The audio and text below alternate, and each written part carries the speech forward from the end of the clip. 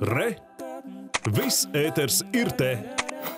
Lai jau no mazotnes radinātu pie demokrātiskas lēmumu pieņemšanas un veicinātu jaunās paudzes interesi par balsošanas procesu, Cēsīs pirmo reizi notiek vēlēšanas arī bērniem un jauniešiem. Viņiem gan nav tiesība vēlēt par partijām un nākamajiem deputātiem, bet gan lemt, kā turpmāk izskatīsies un attīstīsies pilsēta, kurā viņi dzīvo. Pirmie piedalīties bērnu un jauniešu vēlēšanās šodien ieradās kādas cēsu pirmskolas izglītības iestādes audzēkņi.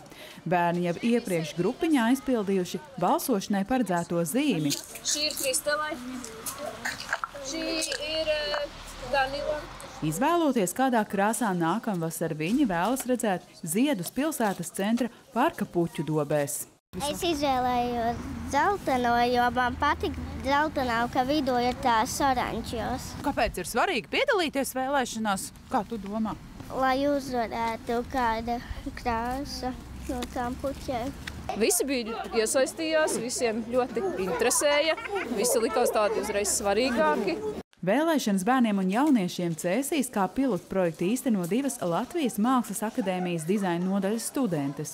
Meitenes vēlas, lai jaunā paudze šādi saprot, ka arī viņiem ir iespēja ietekmēt notiekošo savā pilsētā.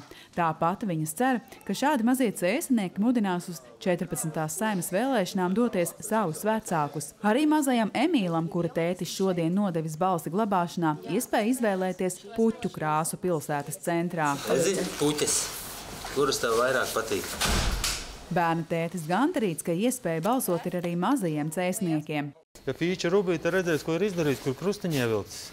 Vajadzēja vairāk izvēli. Vajadzēja kaut kādu, vēl tur kaut ko. Divas ir pa maz, vajadzēja piecas. Nu, kaut, ko, kaut kādu vēl tur. Un končus vai garījums dot. Paši mazākie bērni var izvēlēties, kādā krāsā nākamvasar ziedēs puķis Cēsu pilsētas centrā.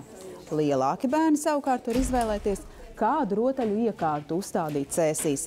Bet jaunieši jau var izvēlēties, kur nākamvasar uzstādīt jaunu ūdens ņemšanas iekārtu. Cēsīs RTV skaidro, ka izvēlēti vienkārši pilsētas vidē iekļaujami risinājumi, kurus bērni un jaunieši pamanīšot jau nākamajā gadā. Daudzi Latvijas politikas vērotāji un arī īstenotāji norāda, lai vairotu sabiedrības atbildību un interesi par vēlēšanām, būtiski jau no mazotnes veidot ieradumu, ka demokrātija nav tikai tiesības, bet arī pienākumi.